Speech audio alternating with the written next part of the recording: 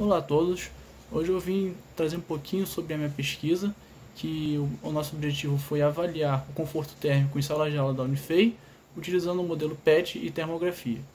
Para isso, nós fizemos as coletas de dados no dia 29, numa sala do bloco L8 da Unifei, é, no período das 3h45 até as 5h35 da tarde.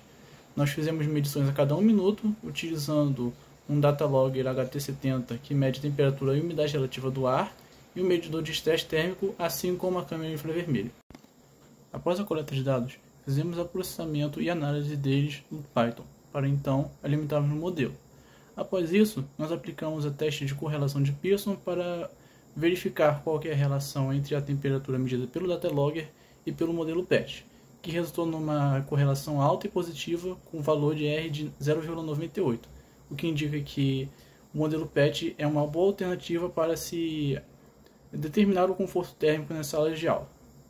Obrigado e essa foi minha pesquisa.